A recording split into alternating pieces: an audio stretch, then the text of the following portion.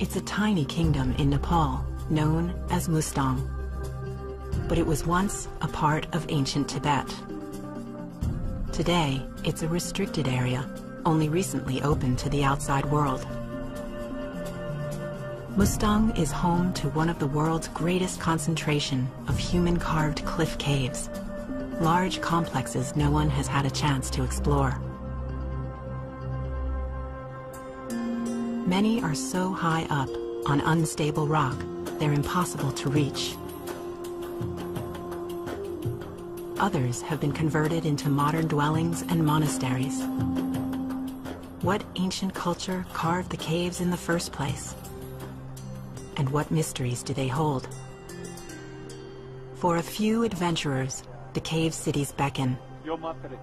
They're among the last unexplored places on Earth. And some hold secret shrines adorned with priceless art. A tantalizing legend speaks of up to nine sacred cave temples called kabums, hidden throughout the kingdom.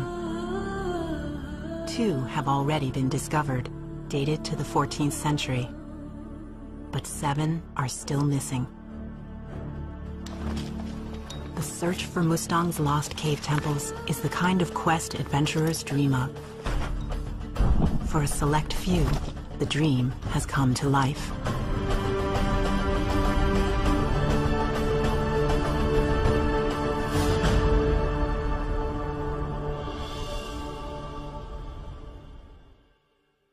Testing one, two, three, four, five, six, Pete seven. Athans is one of the world's great Himalayan climbers. On the He's also my husband, and we're both filmmakers. sound is coming through. You can you can hear it on the headphones. Before our expeditions, we troubleshoot equipment. And since they've spent much of their lives in the remote corners of the Himalaya, our children will come with us. The first step for a climbing expedition is prepping the hardware. Why do you need big ones? Hmm, because sometimes the rock is so unconsolidated. World-class rock climber Renan Ozturk will be Pete's climbing partner. Can I see them? They're pretty heavy. Don't drop it on your toe, sweetie.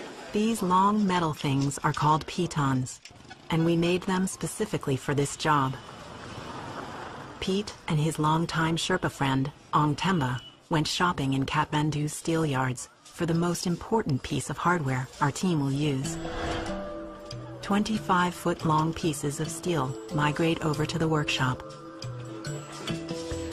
It's called rebar, short for reinforcing bar. Pete's choice material for custom-made, hand-hewn anchors they'll pound into Mustang's sandy cliffs. This is the finished product right here. Looks a little bit homegrown, but they're incredibly strong. Is the kabum still intact? Before leaving Kathmandu, Pete meets with salt trader Hoser, who tells him of a secret kabum near his village in Upper Mustang. There are paintings and chorten inside, or as far as he knows? Artwork. There's artwork. Yeah, there is artwork. Interesting. Although Mustang's borders opened in 1991, they're still guarded by police. Pete's led over 20 climbing expeditions in Nepal, but this one's quite different. Our team holds the first permit ever granted to enter the caves of Upper Mustang. Sherpa Ong Temba will handle the logistics. We have 30 days, and yet there are thousands of caves. This is a license to step into the unknown. 24 loads filled with our tents, food, and fuel for a month are carried on the backs of 12 horses. The journey begins along the Kaligandaki River, a trade route thousands of years old, connecting the Himalayas with the rest of the world. Caves really aren't the typical destination for an Everest climber. I've been in Nepal for more than 26 years now. I've climbed Everest seven times, and people know every inch of Everest. It's kind of like a formula for getting to the top of Everest. I could go back and climb Everest a dozen more times if I chose to, but what's that going to do for the people of Nepal? What's that going to do for the legacy that I leave in this place? This is really, in many ways, my greatest expedition. We research with the lamas, we research with the local herdsmen who have been around these areas, and for me, that's the purest form of exploration and adventure. We don't know what's there, but we want to go, see what's there. Pete will lead the climb, and I'll make the film. Our children, four years and 18 months old, most comfortable on our backs, are the youngest foreigners to come here. Renan's comfort zone is unstable vertical rock. You just gotta be careful of these big conglomerate chunks Yeah. blowing off. That one in particular. Fairly solid though. Yeah, I think A little bit of movement. there you go. Have to be careful though. This is a hands-on test of conglomerate, a blend of large river rock with pebbles and fine sedimentary sand. And our first close-up look at the quality of Mustang's rock. Worn away by wind and water, the outer layers peel off like skin over time. For the children, Mustang is an endless playground. We're taking the traditional 60 mile long trek route, peppered with caves. Logistically in Mustang, it's very hard just to move your team from one place to the other. Oftentimes the climate works its way against you. You can have heavy snowfalls, you can have extreme high wind, plunging temperatures. All those things get in your way, and then once you get to the caves themselves, the entrances may be hundreds of feet above the ground. You have to find your way in through this crumbling rock with these very big cobblestones that threaten to drop onto your head. Pete and Renan spend their first day of exploring in an unexpected snowstorm. These are bad conditions for cave climbing. And after several hours, they retreat and give up for the day. Mustang this time of year, normally we'd be seeing a lot of arid country, some beautiful colors, maybe even a little bit of greenery here and there. Unfortunately, we see about a meter of snow on the ground, and that's going to have probably some implications respective to our getting into some of these caves. It also means traveling up to the higher villages is more arduous. Wiggle your toes, sweetie. Lean forward, that's a boy. Lean forward, that's it, sweetie. Just getting from village to village is taking about double the amount of time that normally it would take. Five days into Mustang, and snow renders the climbing impossible. You know, when the cliffs start to get more saturated, unfortunately, it doesn't hold the cobbles in nearly as well. So you might feel like all of a sudden you don't have the same purchase you had. Those steps are very slippery too.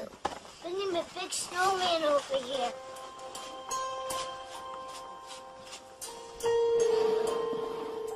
Maybe some of our objectives will be a bit compromised, but ever onward, never straight, and we're hoping we'll be going into some of the caves here. The weather's good tomorrow. Um, this could be a chair. The helicopter är in Norge. Oh, Jag tycker det. Yeah. Det- Pete and Ong Temba find a local goat herder who knows of a cave that has wall paintings. So, on Yeah. the corner, and then, you know, just follow the edge. This is their first discovery, and remarkably, the cave's a walk-in. The forgotten site is across the river from a large village, but few know or even care of its existence. Ancient Tibetan texts are strewn about, and stunning paintings adorn the crumbling walls. We think they're from an era when artists were commissioned by wealthy patrons to paint murals on the walls of sacred places. But no one knows how old they are. This is high Tibetan art. Black line drawings on fine white plaster that's peeling from the walls. Pete finds a butter lamp inside the reliquary.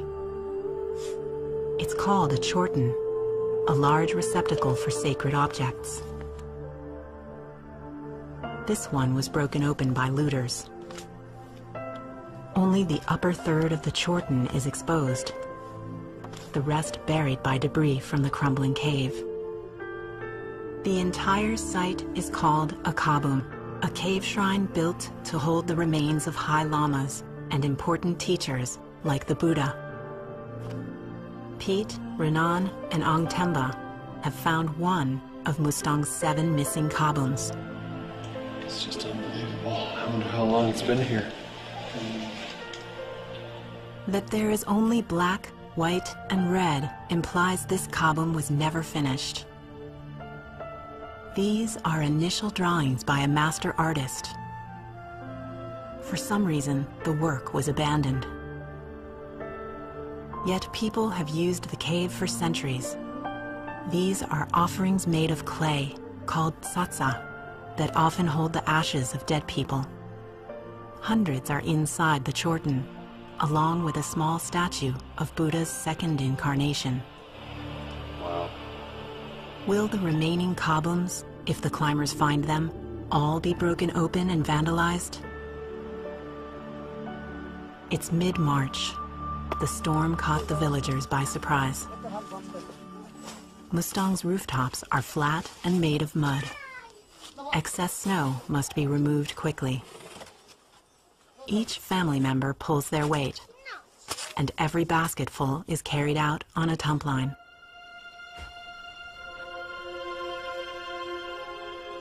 Chortens, hundreds of years old, stand tall against the ravages of winter. This is the highest kingdom in the world, a Buddhist jewel hidden in the rain shadow of the Himalaya. It's a typically arid landscape, but it's been rendered nearly impassable till the snows melt. One week into the expedition, our progress is slow. We move on cautiously in search of caves that might be protected from the snow. Pete, the children, and I cross a pass at 13,000 feet. So, Lagilo. And make offerings of a single stone each to the gods believed to reside here.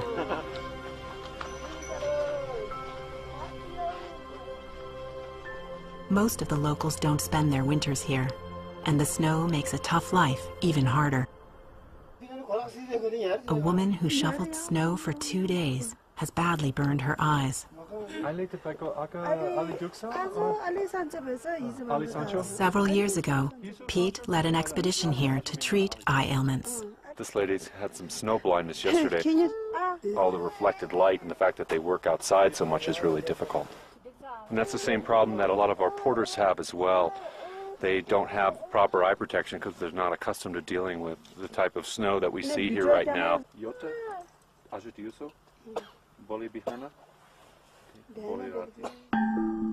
For the locals, the caves seem to have lost their allure. Many are believed to have been vandalized and rid of their contents over the ages.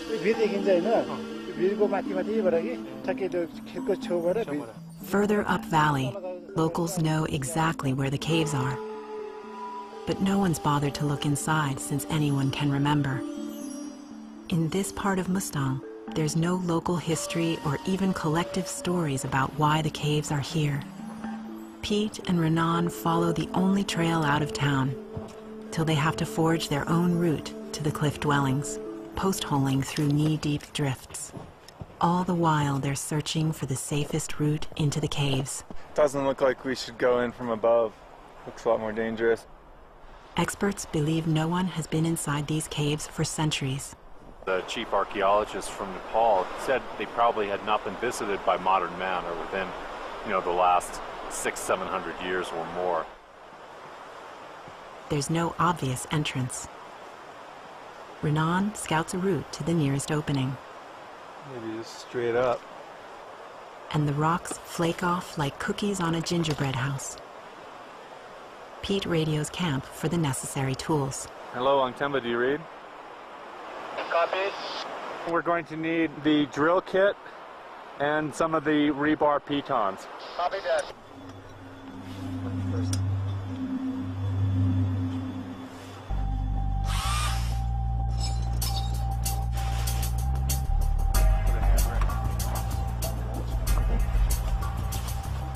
Renan leads. 20 feet up to where he'll drill in an anchor.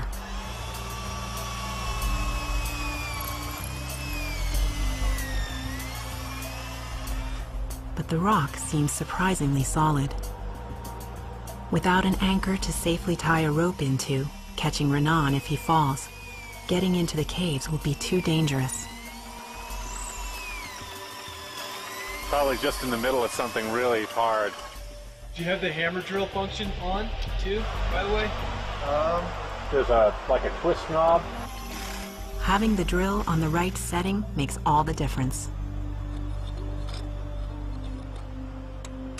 This will be the first field test of the rebar pitons. On the way. You're on the way.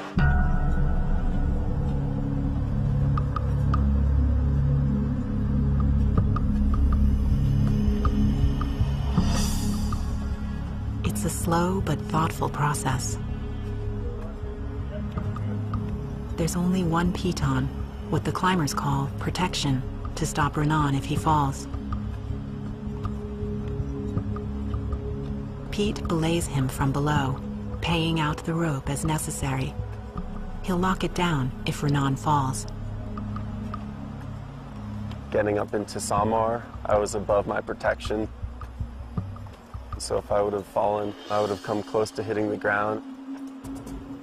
I was just hanging on by my hands and feet, and my hands were starting to get pumped, and the blood would rush in, and that would be the point where we'd have to make a move forward or, or fall. There have been some very sketchy moments.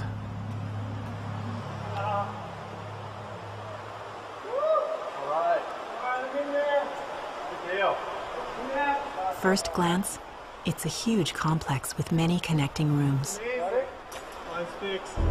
Pete clips in with a mechanical ascender that locks when you pull down on it.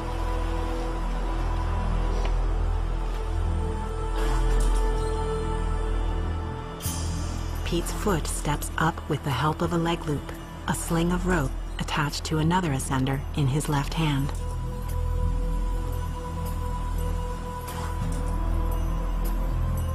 Everything's connected in here. That's amazing. After days of paralyzing weather, Pete and Renan are finally on the threshold of discovery. Welcome. This is the biggest chamber we've seen. Surprisingly, timbers are an integral part of the cave dwelling. And large flagstones may have been used for benches or shelves. The wood seems to be a part of the original architecture. This latticework bridge of timbers paved with flagstones connects one level to the next. And a wood pillar was installed to reinforce a wall. It could have been a later feature, added well after the cave was dug out. Thin flagstones configured for storage spaces and stacked rocks all indicate this cave was used for habitation.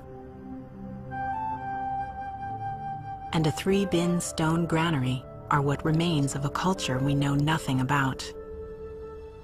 Finally, this sink, grinding stone, and hearth area are evidence of a time when an unknown people performed cave cuisine. Yet the questions remain. Why did people live here? How long ago? And how did they even get in? The timbers provide a clue. People were able to carve notched ladders that they could climb up. There was a bridge that was constructed of old timbers and stone, and although we had a little bit of fearfulness going out on them, they still held really quite well. The timbers remarkably in good condition. And then they're in a place they can defend easily. They can close off the doors if there was anyone who was trying to rob from them or who meant them harm. So while the people who first established these caves might have been very primitive. They actually had some fairly advanced skills respective to architecture.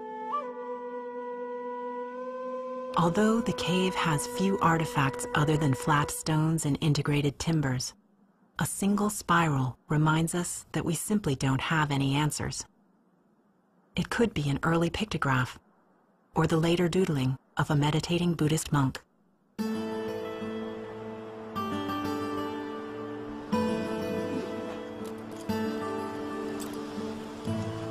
Renan pulls the single piton, leaving behind no trace that modern man has climbed into Mustang's mysterious past. Pete and Renan have been an advance team for a larger group of scholars who arrive halfway through the expedition. A local man was sent ahead with a video camera to find a hidden kabum. It's accessible, but so sacred, only locals should enter the cave. Here to assess the art found in the caves is Italian art conservator Luigi Fieni. Look at the details of the carvings. And They're looking at the first ever footage of one more kabum, lost in the cliffs of Mustang. It's proof that the legend of hidden cave shrines is true. The expedition has now uncovered two. Five remain. really nice. Yeah. Nepal's former chief archaeologist, Sukrasagar Shrestha, has always believed the caves of Upper Mustang would be beyond his reach. Brot Coburn, an author and friend of ours, knows Upper Mustang perhaps more than any other Westerner. He's pioneered the conservation of Mustang's most important antiquities. This is not an easy place to work, I can tell you. The dust is just incessant, and the wind is constant. For the people who lived here, it was harsh, but it's also harsh for the Nepalese scholars who have averred opportunities until now to come up and study these cave cultures. The Department of Archaeology only has two qualified high mountain archaeologists, and we've recruited them for this expedition. Locals believe their ancestors carved out the caves. The only dates we have are from an archaeological dig in Lower Mustang in the 1990s that found human remains in a cave that are nearly 2,500 years old. Since then, no one has been allowed to do further research. Sukrasagar was on that dig, in a region much more accessible and not at the high altitudes of Upper Mustang. This is the first time archaeologists have entered the caves of Mustang's forbidden zone. Yet another cave temple is found. For 10 years, Luigi Fieni has restored Mustang's oldest art inside 15th century monasteries. He believes the paintings on this cave wall are even older and in a style unlike any he's seen in the region. this really look like Indian. Mm-hmm. They're very fluid. They're very, you know, very moving. They're not rigid like a lot of a lot of the paintings that we've seen. Nagarjuna, a saint from the second century, passing on the word of the Buddha to his disciples. Here you have a three-dimensional rendering. You have the white for the highlight, and you have darker line for the shade. so they really wanted to give a three-dimensional uh, impact. The word Kabum hints at the significance of these sacred cave temples. Boom means receptacle, and Ka means the teaching of the Buddha. The local people feel that these kabum, although they were created millennia ago, still have ritual significance for them. Worshipping them, making offerings to them, pilgrimage to them in some cases, can affect the productivity of their crops or the fertility of their families and the richness and the productivity of their land and their local wealth.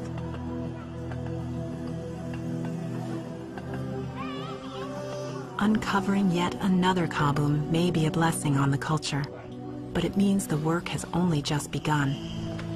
Inventorying the cave involves recording the Tibetan icons depicted in the art, so scholars can decipher the underlying message for the pilgrims who once came here. Sukrasagar will measure and draw the layout, so preservation and protection of the site can begin.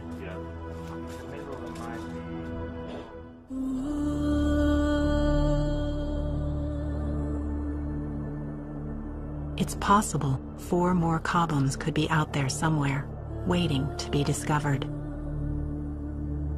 Unless they've collapsed beyond recognition into the cliffs that once held their sacred teachings. Mama, mama, mama. Oh, mama, I found my harness. Hey, Pete. She's talking to you. What, sweetie? No, I love you. You want to go? Yeah. You can come over with us, I think. Okay. Clay doesn't have a harness. I do. I do have a harness. There's only one week of exploring left on the permit, and a local tip about a kabum leads the climbers here. Oh. We have been told that there might be a cave chorten, there might be scripture, there might be artwork. He's saying that people say that the kabum is inside this wall here. How many of these do you think we need? Three, four more? Yeah, two or three more of these and two of the big ones. A village headman gave them permission to tackle a collapsing cliff where the locals believe a cave chorten is tucked away. But it's the worst terrain Pete and Renan have encountered so far. Although no one's been inside the cave in modern times, the oral history is alive. One young Tibetan boy came down to us and he opened up his book and he said, all of our gods live inside this cave. And he was pointing to Guru Rinpoche Padmasambhava, who discovered a lot of the caves in this area, established one of the early monasteries here. That led us to realize that this was a sacred place for them.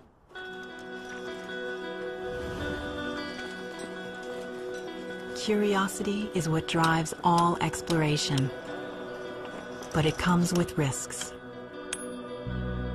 The type of climbing that we're doing in Mustang is something that no sane climber would want to do. Generally, the rock quality is really quite poor. It's dangerous. These rebar pitons that we've fabricated in Kathmandu are almost a throwback to the Iron Age itself, which makes them appropriate for the caves that we're exploring. This is getting really jingus. Yeah. Most climbers really enjoy good rock quality, not the showering of dust, dirt, bat, guano, bird poop.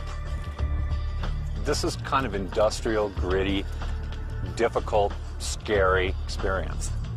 I pushed it pretty much right to the limit. I stood up on one of those pins in the soft layer and it and it shifted on me and I almost took the whipper. Also made the mistake of trying to breathe, taking some dust into my lungs. And that was a horrible feeling. Hmm. To cramp on or not to cramp on? This is the question. Ice tools for sure. This guy in particular. It's gonna make my life a lot easier. I think I'm gonna gonna leave the crampons. It's always a Take the crampons. Take the crampons. Crampons are normally used on ice, but little about this climb is normal. I arrived on the scene into the third day of Renan and Pete bolting their way up this cliffside. And I was automatically curious as to how much attention the power drill and all the people gathered at the base might bring. And sure enough, some villagers arrived from the hamlet of Dree, about a hour's pony ride upstream. And they confronted us saying that we didn't have permission to access their cliff sides and a sacred site. Their impression was that we were coming to steal something that was inside the cave, or we were there to deface or somehow defile their own landscape. Renan was literally five feet from getting into the cave. We had had the actual permission from the headman of the village several weeks before in Kathmandu. He said that we'd have no problem with the people from his valley respective to going into these caves. Please come down, okay? All these pins are just like wiggled in there. The locals won't let Renan go up any further. His anchors are now unsafe, and they won't let him drill a new one. Hey, Brock, can you try to explain to these guys that his anchors are not good? He's trying to come down as best he can. It's just very dangerous. Getting Renan safely down is the first priority, just so they can negotiate permission for him to climb back up and safely remove the ropes. His life was at stake in this process. He had to go up in order to secure an anchor in order to safely descend and clean the route. As Brot tries to negotiate, it's clear the villagers have another agenda. Just to remove their gear from the route, the team will have to pay. They want money, basically, and that's it. Oh, I think close to a thousand dollars was the was the first uh, asking price. We were very upset with them because we felt like it was extortion.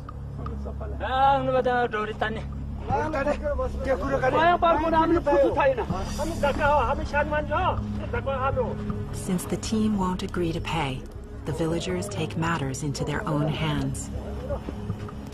By pulling on the ropes, they're compromising Renan's fragile anchors. And then the men pile up kindling to burn the climber's ropes. Renan is forced to bring the ropes down without placing a safe anchor. China, They had kind of played this card of this is our heritage, this is our divinity, this is our God who lives in this cave, but all it boiled down to was they wanted money. We kind of lost our enthusiasm for dealing with them. We were ready to pull our ropes at that time. The price then plummeted to a pretty insignificant amount, actually. Before you clean anything, I think we're, uh, we're working something out here. Everyone's curiosity is now piqued. What's inside the cave? The villagers are convinced it's a kabum. Am I coming down or going up? Going up. I was worried about Renan, and we wanted to get him down safely, so we ended up uh, paying them, which sets a bad precedent.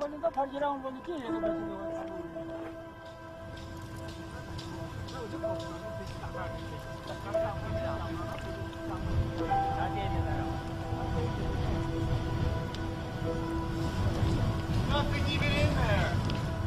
Drill as much as you need to make it safe, Renan.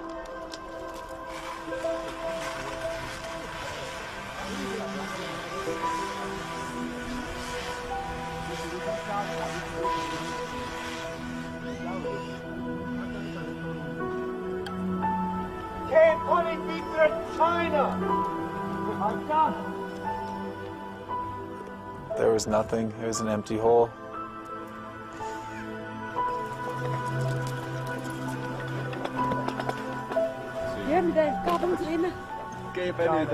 As soon as I came down, their tone changed from violent to jovial, and they were all crowding around my camera laughing. Oh, Nepal is a very romantic place for me. I, I constantly have spiritual experiences here in the mountains. The fact that these people took it upon themselves to act in that way was very de-romanticizing. Looking at it from the villagers' point of view, the Dree villagers are jealous of the Tsarang villagers and the villagers of Lo Manthang, where the Raja, the king of Mustang, lives, because the Raja and the Tsarang people have all been the beneficiaries of tremendous amounts of development aid and also tourism. The Dree villagers want to see a part of that action, so that was their way of shaking down the foreigners for some money. And also at the same time, they're right. Who are the outsiders who come to look at their monuments? What right did we have to look at a sacred monument that affects their livelihood, or at least they believe it does? But there's an interesting nexus there between the sacred and the profane. Ultimately, the villagers did want to settle for money. What does that say? Was money more important than the sacredness of a monument that might have been within that cave? I don't know. It appears that way.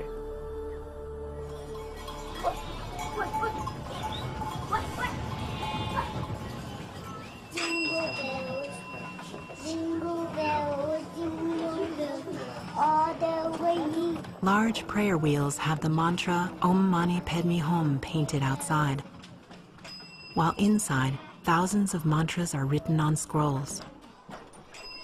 Each turn is like uttering the mantra a thousand times, a powerful prayer beckoning an open mind toward your adversary and teaching compassion. Voilà. गुफा छ गुफामा त छिटाहरू जान्छ मलाई त एक तल मात्रै गएर अलि पुग्योहरू जानी नसक्ने छ त्यो पालैमा पर्छ भने अहिले जाने भित्र जानुमा लाग्यो भने हामी मजाक गर्छु Sherab Tenzing हामी हामीसँग आउनुहोस् ए Sherab Tenzing's his name, and he's lived here most of his life. जानी सक्छ सक्छ तपाईँ जानु पर्दैन Pete and Renan want to approach this cave with an open mind, seeing it from the local point of view. He's saying that it's a Yuko Urukobog, a snow leopard.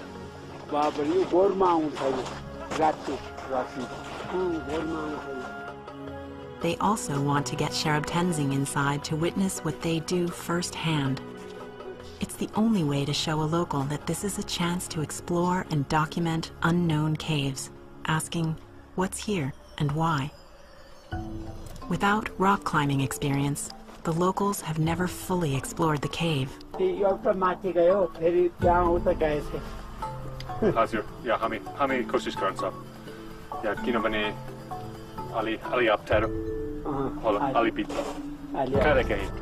Keeping Sherab Tenzing's confidence in them high is key to their success.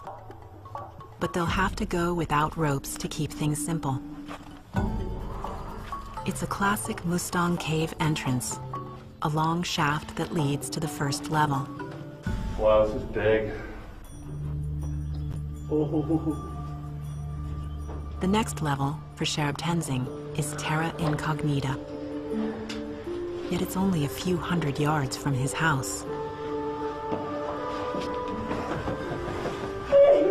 His sheer joy of discovery is infectious कस्तो बस्यो होला भा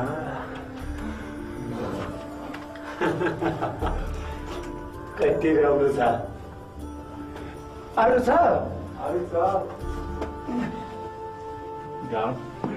The final, third level for Sherab Tenzing is the most stunning of all. Om Mani Padme Hum is painted in a script developed in the 11th century that Tibetans call Lantsa. It is said that all the teachings of the Buddha are contained in this single phrase. The cave has a triptych of three panels. The second panel tells us why the paintings are here. A chorten with the Tibetan symbol for water on it indicates the painting was for meditation. Chortens consist of a square foundation symbolizing earth. The dome represents water, and 13 tapering steps, the steps anyone must go through before reaching enlightenment, signify fire. A parasol at the top represents wind, and the whole thing is a three-dimensional microcosm of the human spiritual endeavor. The third panel, Om Ahum, another universal mantra. It's unknown how old the paintings are.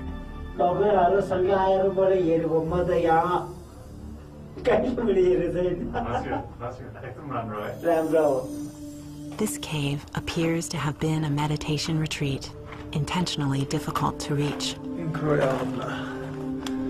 The lives and purpose of the ancients will remain a mystery until the team can return with permission to excavate. They've learned a valuable lesson. Every cave they enter must be in partnership with the people of Mustang. Our permit expires in three days, but hundreds of caves remain. Brot chooses one with a permanent resident. The current goat herder has been there for 27 years, and he said that uh, he's not aware that anyone has visited the upper uh, cave holes of this settlement. It's a cave city called Marjong, and locals say it's haunted. legend tells the story of two warring lamas who fought black magic battles here. The Marjong Lama caused a landslide, crushing his enemy. For safety, Sukrasagar is the only Nepali who will go inside. No one wants to spend too much time here. The cliff drops off 200 feet. Pete belays Renan through a window.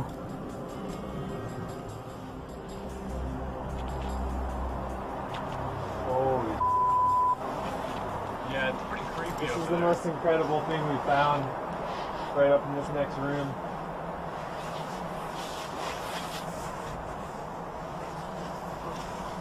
Also hard to commit to the move. There's some incredible things in this next room, Pete. Really? R- truly incredible. What do you see? I see this like figure of a dancing Buddha character in like a whole like temple room. A little bit more. Pete carefully feeds out Robe. A little bit more. Good. Oh my god. Okay, a little more. A giant cathedral room with rooms off of it filled with texts, piles of texts. Oh my god. Renan's crawled into an ancient library. Thousands of hand-inked folios, centuries old. To date them will require finding a scholar who can translate this archaic Tibetan script.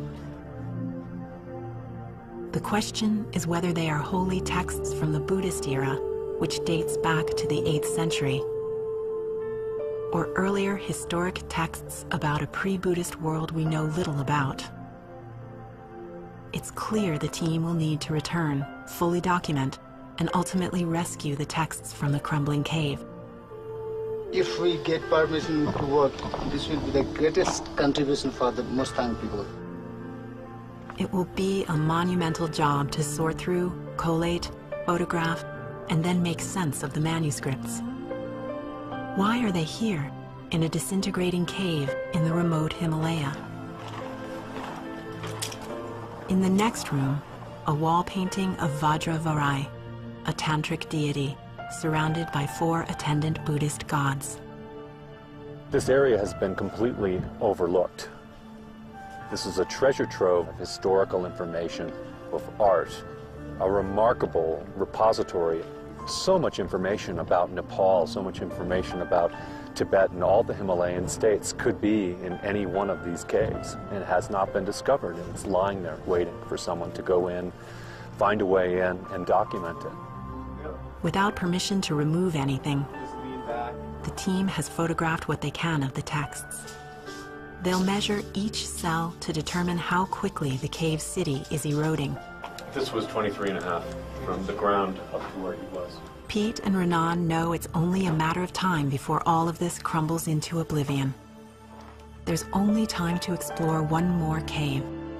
First, we'll pick up art conservator Luigi Fieni. The caves are not the only threatened relics of the past. Mustang's monasteries have suffered years of neglect. The people, they forgot about this monastery. They had stopped worshipping and performing ceremonies here. Luigi is heading up the restoration of Mustang's highest art.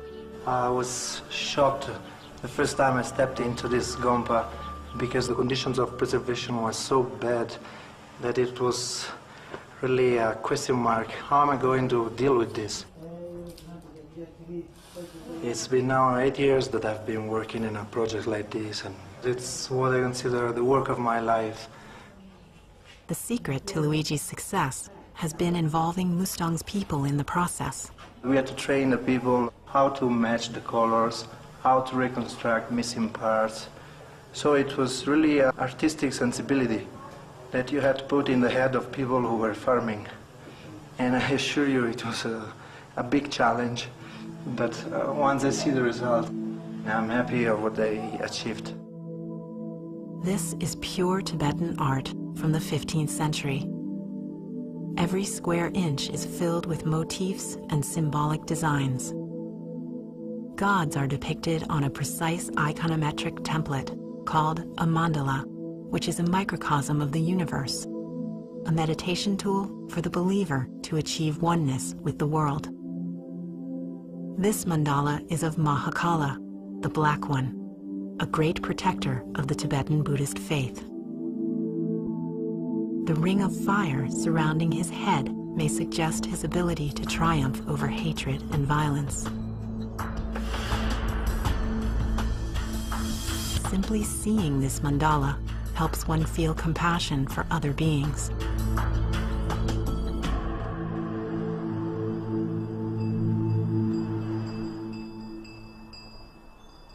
Travel through Mustang is to experience firsthand our temporal hold on Earth. The landscape has been dissolving for millions of years, providing a valuable teaching for those who spend time here. The lesson of impermanence it's a basic Tibetan lesson. We are born, we live our lives, we die, and we are reborn. It's that birth, death, and rebirth that you see palpably in action here in Upper Mustang. It's almost as if that cycle is the only permanent feature of this landscape a landscape affected primarily by impermanence, by erosion, and by change and evolution. With only a day left on our permit, we reach a hidden pinnacle at 14,000 feet. We've come here on a tip from a local shepherd who claims he saw art inside a cave here. It's been abandoned for hundreds of years, but he found it when he ducked into the cave to get out of a rainstorm. That was 10 years ago. The cliffs have since eroded. The only way in is to rappel down from above. They're masterpieces that stun even Luigi, Brot, and Pete, the most experienced of Himalayan explorers. A 26-foot long mural depicts individual tableaus of Mahasiddhas, great historical Buddhist teachers. There are 55 tableaus in all. We're not the only ones who've found this cave. On the floor are the telltale pug marks of a snow leopard. It was sort of emotional in a way because it's as if the snow leopard had adopted the place as its own. The snow leopard was the last caretaker or guardian for this beautiful gallery of art. There's no evidence of anyone having entered the caves. There was no sign of vandalism. We were the first foreigners to ever enter this cave gallery. Open to the elements, the priceless paintings are remarkably intact. Yet the pigments are flaking off and have become dull and blackened from exposure to natural light. Each panel is unique, representing an individual Mahasiddha and his attendant. They were yogis from all across the Himalaya, known for their magical powers. Some could even fly. It's very surprising to be in this, this high desert, very Tibetan landscape and to be seeing what is almost a tropical scene. The yogis' billowing pants and palm trees tell a story about the spread of Buddhism from the Indian subcontinent up onto the Tibetan plateau. Uh, I love these two scenes. You still have most of their colors. Even the way, look here, animals out of space as if it's flying. And you have here the same with a monkey out of the tree. just floating in the air. So we can guess that these are very ancient because they still didn't develop the concept of architecture. Here we have another deer maybe. Probably they wanted to represent the animals they saw here. I'm not sure about the monkey, but this is also unusual. These red lines have been drawn, painted just for, to separate the single scenes and you can see the monkey is just using the separatory line as if it was a tree. Under each panel is an inscription in ancient Tibetan. they will need to be translated by a scholar who can help solve the mystery of why this masterpiece was painted here, how long ago, and for whom. Luigi photographs each panel and its inscription so the work can be carried out digitally later.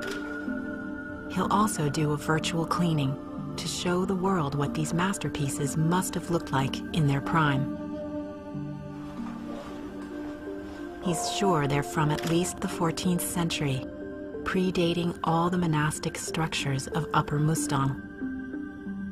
They were probably painted in a time when caves like this were the sought-after places Buddhists came to for teachings.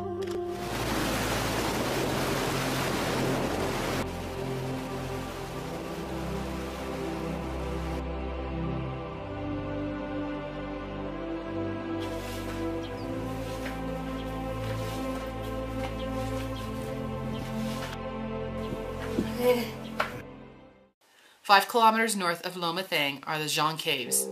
The caves are said to be 2,500 years old. The complex has four stories. We had a blast exploring the different levels.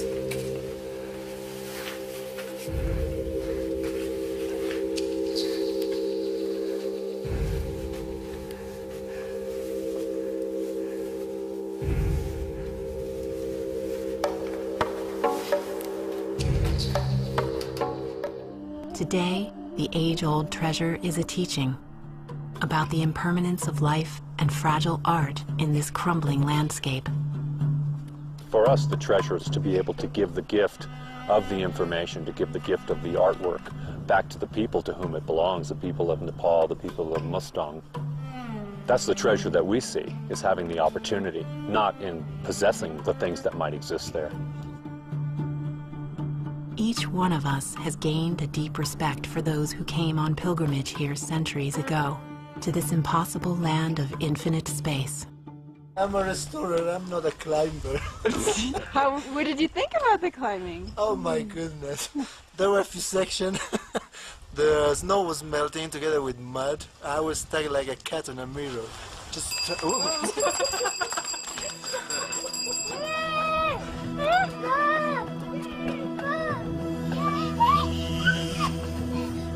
It's our last day of exploration, and Mustang's youngest expeditioners will begin the long journey back down to modern life. How are you guys?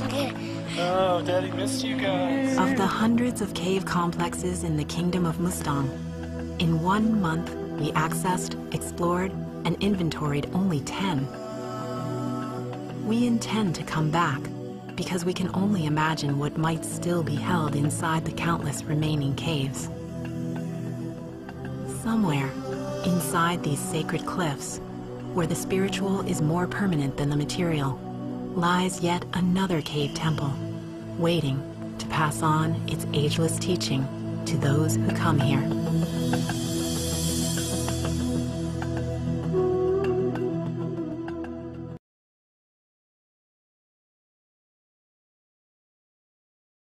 A long shaft that leads to the first level.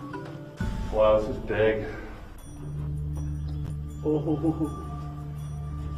The next level for Sherab Tenzing is Terra Incognita. Yet it's only a few hundred yards from his house. His sheer joy of discovery is infectious.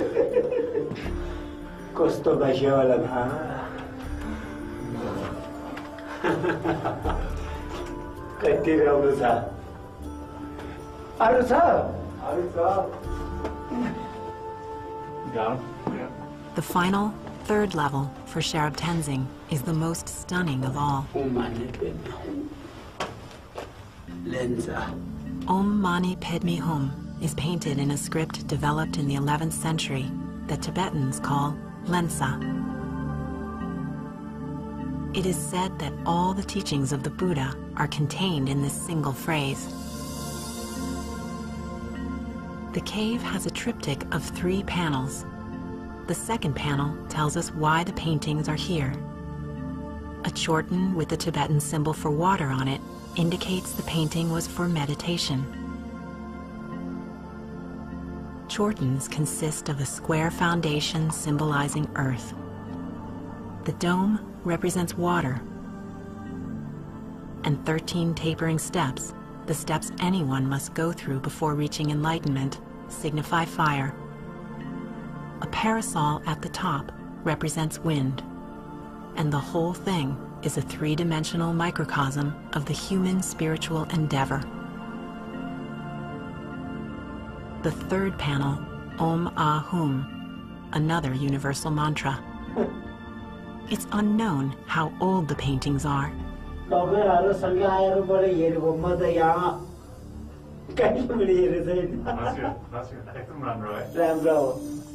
This cave appears to have been a meditation retreat, intentionally difficult to reach. The lives and purpose of the ancients will remain a mystery until the team can return with permission to excavate. They've learned a valuable lesson. Every cave they enter must be in partnership with the people of Mustang. Our permit expires in three days, but hundreds of caves remain.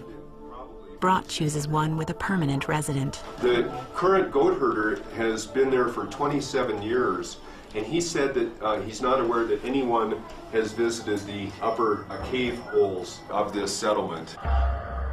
It's a cave city called Marjong, and locals say it's Hector of the Tibetan Buddhist faith. The ring of fire surrounding his head may suggest his ability to triumph over hatred and violence. Simply seeing this mandala helps one feel compassion for other beings.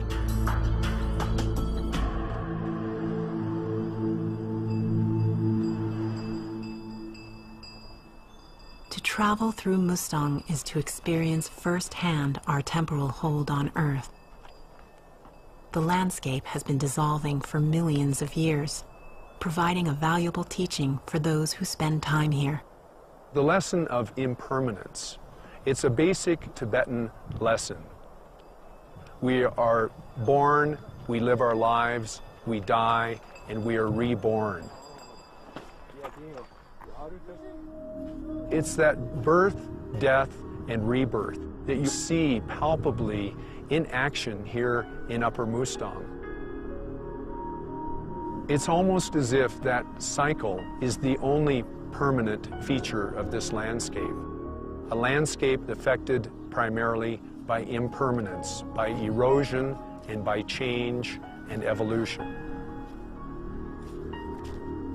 With only a day left on our permit, we reach a hidden pinnacle at 14,000 feet.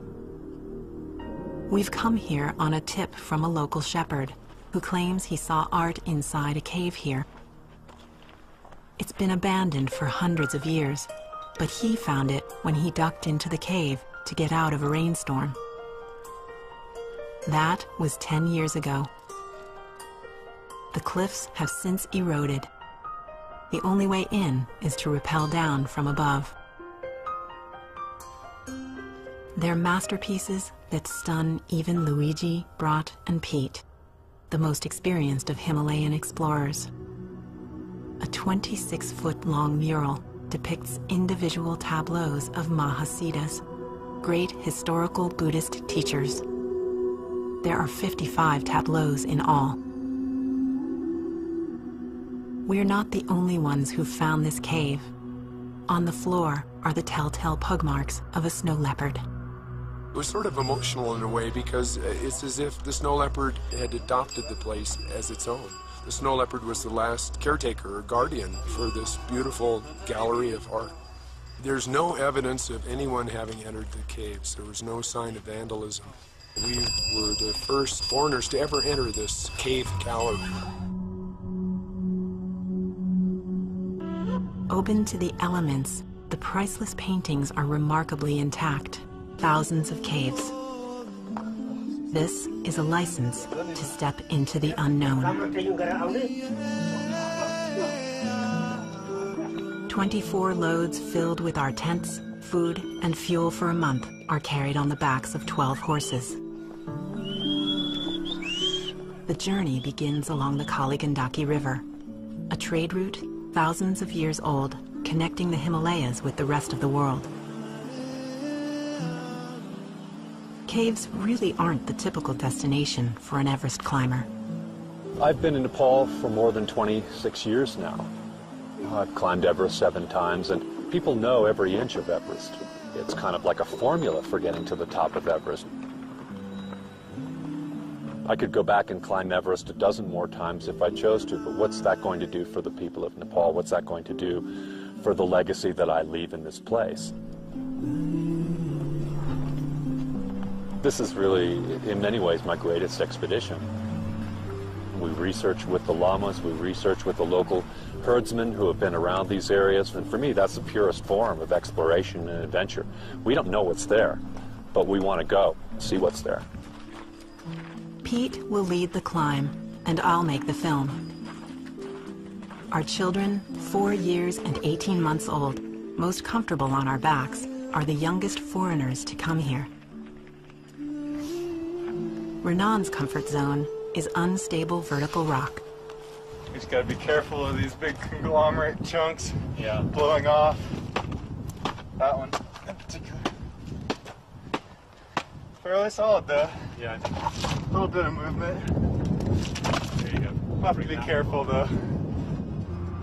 This is a hands-on test of conglomerate, a blend of large river rock with pebbles and fine sedimentary sand. And our first close-up look at the quality of Mustang's rock. Worn away by wind and water, the outer layers peel off like skin over time. For the children, Mustang is an endless playground. We're taking the traditional 60-mile-long trek route, peppered with caves. Logistically in Mustang, it's very hard just to move your team from one place to the other. Oftentimes the climate works its way against you. You can have heavy snowfalls, you can have extreme high wind, plunging temperatures. All those things get in your way, and then once you get to the caves themselves, the entrances may be hundreds of feet above the ground. You have to find your way in through this crumbling rock with these very big cobblestones. Lean forward, that's a boy. Lean forward, that's it, sweetie. Just getting from village to village is taking about double the amount of time that normally it would take.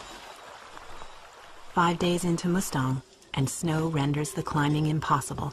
You know, when the cliffs start to get more saturated, unfortunately, it doesn't hold the cobbles in nearly as well. So you might feel like all of a sudden you don't have the same purchase you had. Those steps are very slippery too. Look at the big snowman over here.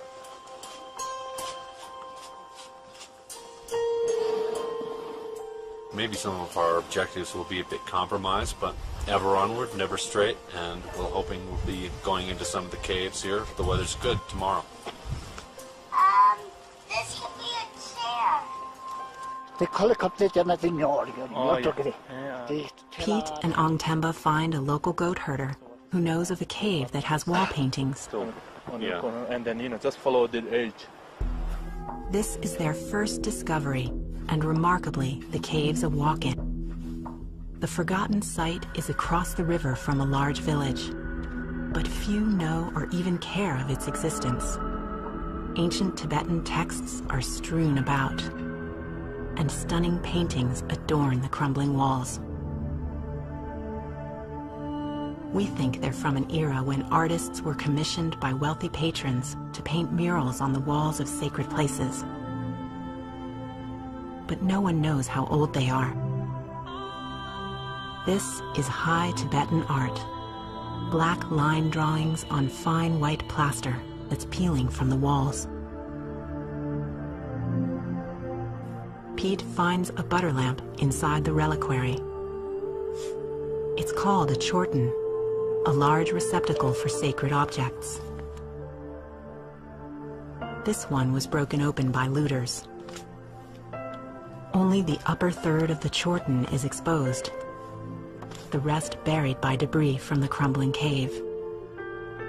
The entire site is called a kabum, a cave shrine built to hold the remains of high lamas and important teachers like the Buddha. Pete, Renan, and Ong Temba have found one of Mustang's seven missing kabums. It's just unbelievable. I wonder how long it's been here. That there is only black, white, and red implies this kabum was never finished. These are initial drawings by a master artist. For some reason, the work was abandoned. Yet people have used the cave for centuries. this is also unusual. These red lines have been drawn, painted just for, to separate the single scenes. And you can see the monkey is just using the separatory line as if it was a tree. Under each panel is an inscription in ancient Tibetan. They will need to be translated by a scholar who can help solve the mystery of why this masterpiece was painted here, how long ago, and for whom. Luigi photographs each panel and its inscription so the work can be carried out digitally later. He'll also do a virtual cleaning to show the world what these masterpieces must have looked like in their prime. He's sure they're from at least the 14th century, predating all the monastic structures of Upper Mustang. They were probably painted in a time when caves like this were the sought-after places Buddhists came to for teachings.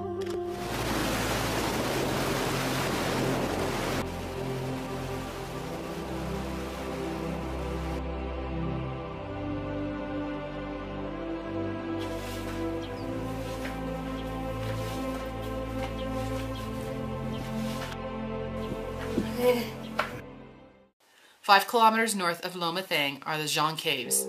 The caves are said to be 2,500 years old. The complex has four stories. We had a blast exploring the different levels.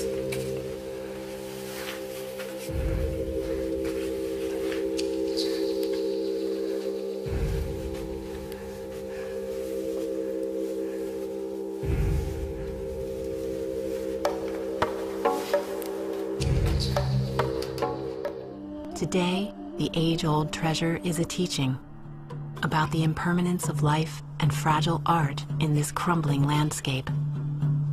For us, the treasure is to be able to give the gift of the information, to give the gift of the artwork back to the people to whom it belongs, the people of Nepal, the people of Mustang. That's the treasure that we see, is having the opportunity, not in possessing the things that might exist there. Each one of us has gained a deep respect for those who came on pilgrimage here centuries ago, to this impossible land of infinite space.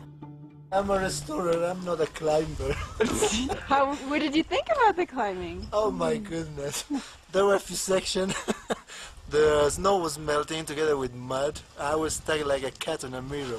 Just.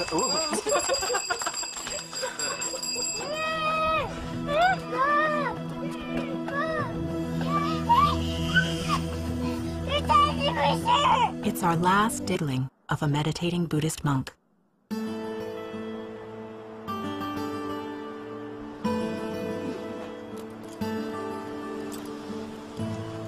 Renan pulls the single piton, leaving behind no trace that modern man has climbed into Mustang's mysterious past.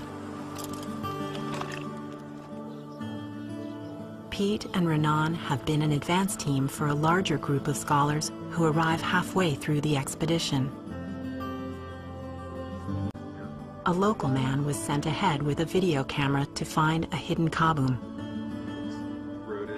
It's accessible, but so sacred, only locals should enter the cave.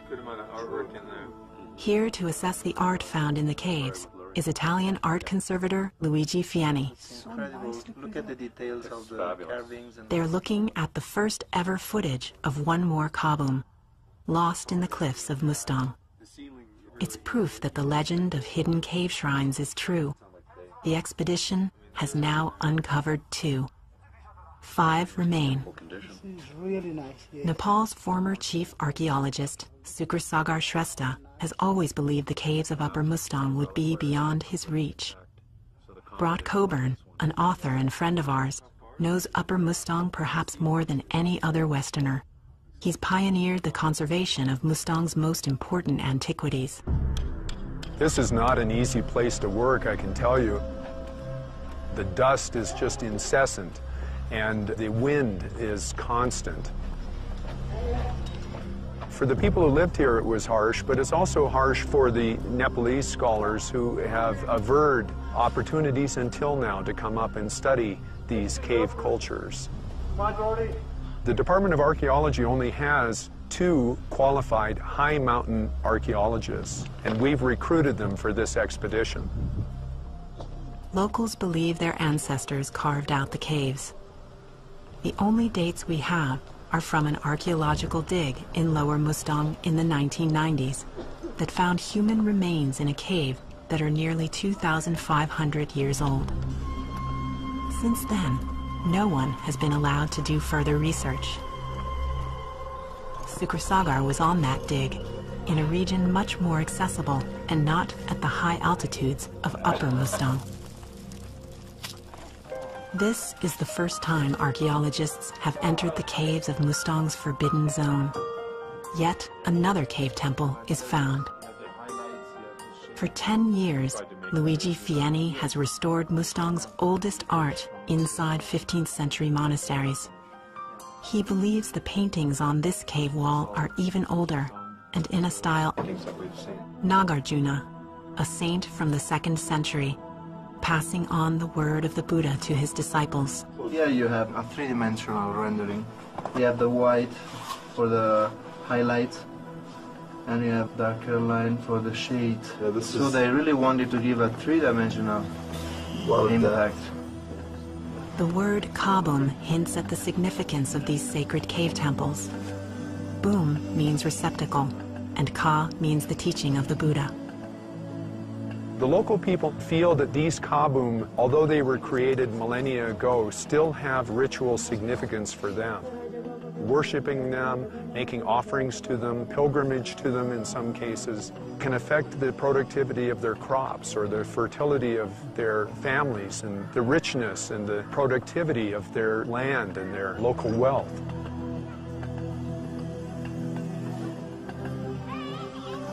Uncovering yet another kabum may be a blessing on the culture, but it means the work has only just begun. Inventorying the cave involves recording the Tibetan icons depicted in the art, so scholars can decipher the underlying message for the pilgrims who once came here. Sukrasagar will measure and draw the layout, so preservation and protection of the site can begin.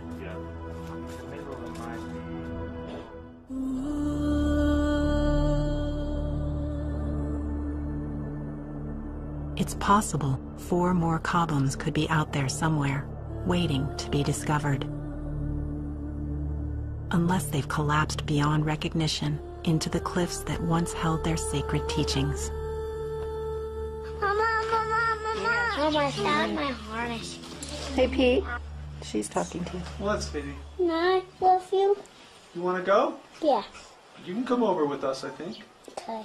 Clay doesn't have a harness. I do. I do have a. There's only one week of exploring left on the permit, and a local tip about a kabum leads the climbers here. Oh. We have been told that there might be a cave chorten, there might be scripture, there might be artwork. He's saying that people say that the kabum is inside this wall here. How many of these do you think we need? Three, four more?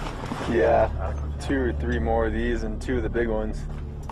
A village headman gave them permission to tackle a collapsing cliff where the locals believe a cave chorten is tucked away. But it's the worst terrain Pete and Renan have encountered so far. Although no one's been inside the cave in modern times, the oral history is alive. One young Tibetan boy came down to us and he opened. Testing one, two, three, four, five, six, Pete seven. Athans is one of the world's great Himalayan climbers. He's also my husband, and we're both filmmakers. The Sound is coming through. You can you can hear it on the headphones. Before our expeditions, we troubleshoot equipment. And since they've spent much of their lives in the remote corners of the Himalaya, our children will come with us. The first step for a climbing expedition is prepping the hardware. Why do you need big ones? Hmm, because sometimes the rock is so unconsolidated. World-class rock climber Renan Ozturk will be Pete's climbing partner. Can you see them? They're pretty heavy. Don't drop it on your toe, sweetie. These long metal things are called pitons, and we made them specifically for this job. Pete and his longtime Sherpa friend, Ong Temba, went shopping in Kathmandu's steel yards for the most important piece of hardware our team will use. 25 foot long pieces of steel migrate over to the workshop. It's called rebar, short for reinforcing bar.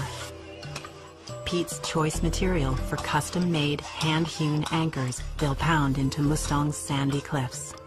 This is the finished product right here. Looks a little bit homegrown, but they're incredibly strong. Is the kabum still intact? Before leaving Kathmandu, Pete meets with salt trader Hoser, who tells him of a secret kabum near his village in Upper Mustang. There are paintings and Chorten inside, or as far as he knows? Or Yes. Artwork. There's artwork. Yeah, there is artwork. Interesting. Although Mustang's borders opened in 1991, they're still guarded by police. Pete's led over 20 climbing expeditions in Nepal, but this one's quite different. Our team holds the first permit ever granted to enter the caves of Upper Mustang. Sherpa Ong Temba will handle the logistics. We have 30 days, and yet there are thousands of caves. This is a license to step into the unknown. 24 loads filled with our tents, food, and fuel for a month are carried on the backs of 12 horses. The journey begins along the Kali Gandaki River, a trade route thousands of years old, connecting the Himalayas with the rest of the world. Caves really aren't the typical destination for an Everest climber. I've been in Nepal for more than 26 years now. I've climbed Everest seven times, and people know every inch of Everest. It's kind of like a formula for getting to the top of Everest. I could go back and climb Everest a dozen more times if I chose to, but what's that going to do for the people of Nepal? What's that going to do for the legacy that I leave in this place? This is really, in many ways, my greatest expedition. We research with the lamas. we research with the local herdsmen who have been around these areas, and for me, that's the purest form of exploration and adventure. We don't know what's there, but we want to go, see what's there. Pete will lead the climb, and I'll make the film. Our children, four years and 18 months old, most comfortable on our backs, are the youngest foreigners to come here. Renan's comfort zone is unstable vertical rock. We just gotta be careful of these big conglomerate chunks yeah. blowing off. That one in particular. Fairly solid though. Yeah. A little bit of movement. There you go. Have to be careful though. This is a hands-on test of conglomerate, a blend of large river rock with pebbles and fine sedimentary sand. And our first close-up look at the quality of Mustang's rock. Worn away by wind and water, the outer layers peel off like skin over time. For the children, Mustang is an endless playground. We're taking the traditional 60-mile-long trek route, peppered with caves. Logistically in Mustang, it's very hard just to move your team from one place to the other.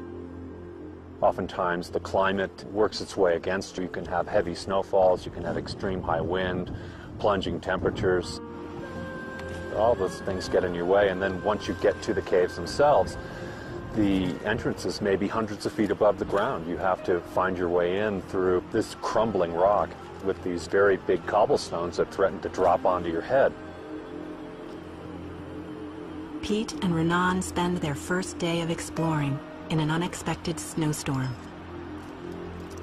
These are bad conditions for cave climbing. And after several hours, they retreat and give up for the day. Mustang this time of year, normally we'd be seeing a lot of arid country, some beautiful colors, maybe even a little bit of greenery here and there.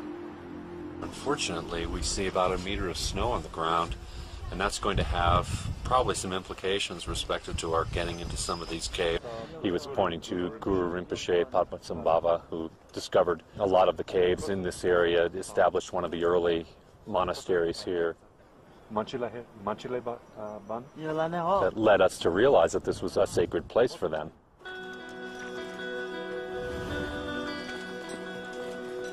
Curiosity is what drives all exploration, but it comes with risks.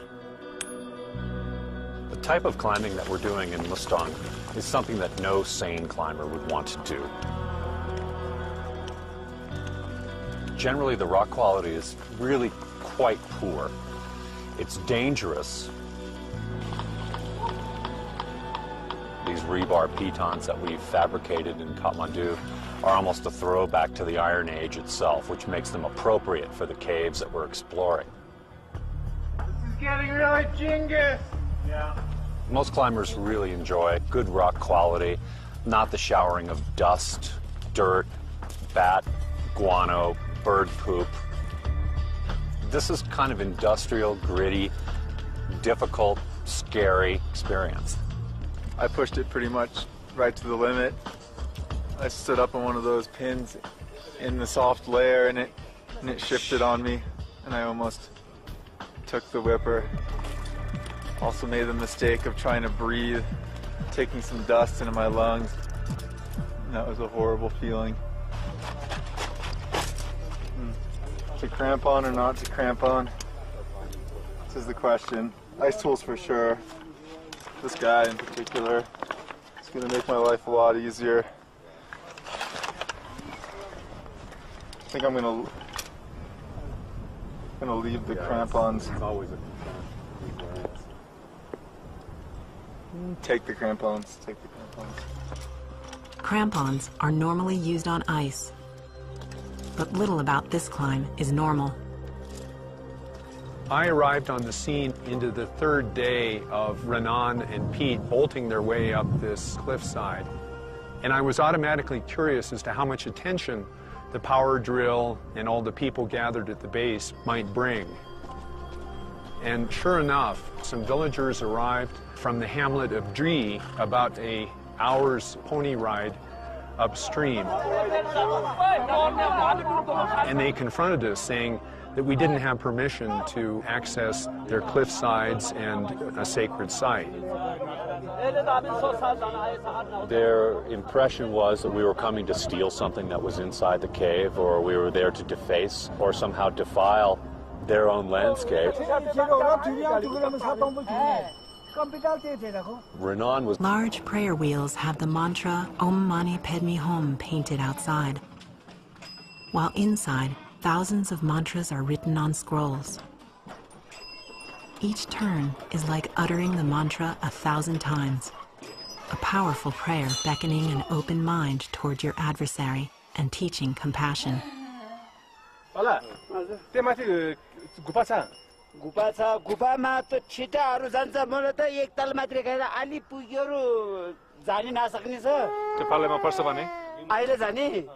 Peter John Malagio, funny, funny, madak gagchu. Sherab Tenzing, hami, hami sang eh? Sherab Tenzing's his name, and he's lived here most of his life. Dani saksa. Saksa. Tapa John Pardena. Pete and Renan want to approach this cave with an open mind, seeing it from the local point of view. He's saying that it's a yuko bag, a snow leopard. Babar यो भोरमा आउँछ यो राति राति भोरमा आउँछ यो They also want to get Sherab Tenzing inside to witness what they do firsthand. It's the only way to show a local that this is a chance to explore and document unknown caves, asking, what's here and why? Without rock climbing experience, the locals have never fully explored the cave.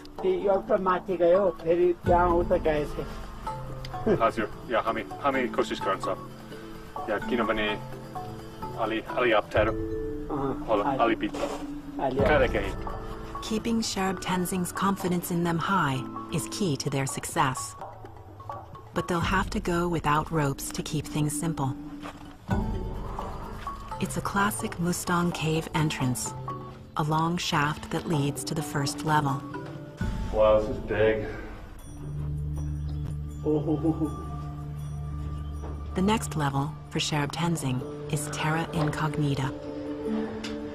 Yet it's only a few hundred yards from his house. His sheer joy of discovery is infectious.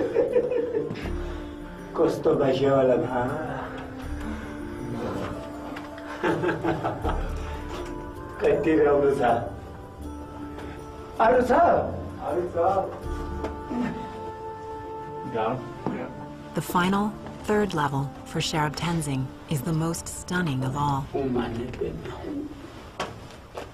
Lantsa. Om Mani Padme Hum is painted in a script developed in the 11th century that Tibetans call Lantsa. It is said that all the teachings of the Buddha are contained in this single and our first close-up look at the quality of Mustang's rock. Worn away by wind and water, the outer layers peel off like skin over time. For the children, Mustang is an endless playground. We're taking the traditional 60-mile-long trek route, peppered with caves. Logistically in Mustang, it's very hard just to move your team from one place to the other. Oftentimes the climate works its way against you. You can have heavy snowfalls, you can have extreme high wind, plunging temperatures. All those things get in your way, and then once you get to the caves themselves, the entrances may be hundreds of feet above the ground. You have to find your way in through this crumbling rock with these very big cobblestones that threaten to drop onto your head. Pete and Renan spend their first day of exploring in an unexpected snowstorm. These are bad conditions for cave climbing. And after several hours, they retreat and give up for the day. Mustang this time of year, normally we'd be seeing a lot of arid country, some beautiful colors, maybe even a little bit of greenery here and there. Unfortunately, we see about a meter of snow on the ground, and that's going to have probably some implications respective to our getting into some of these caves. It also means traveling up to the higher villages is more arduous. Wiggle your toes, sweetie. Lean forward. That's a boy. Lean forward. That's it, sweetie. Just getting from village to village is taking about double the amount of time that normally it would take. Five days into Mustang, and snow renders the climbing impossible. You know, when the cliffs start to get more saturated, unfortunately, it doesn't hold the cobbles in nearly as well. So you might feel like all of a sudden you don't have the same purchase you had. Those steps are very slippery too. Look at a big snowman over here.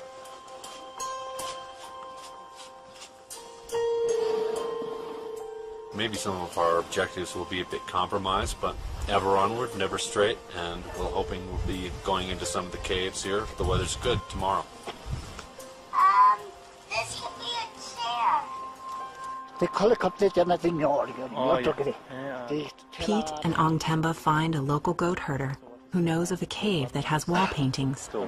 Yeah. And then, you know, just follow the edge. This is their first discovery, and remarkably, the cave's a walk-in.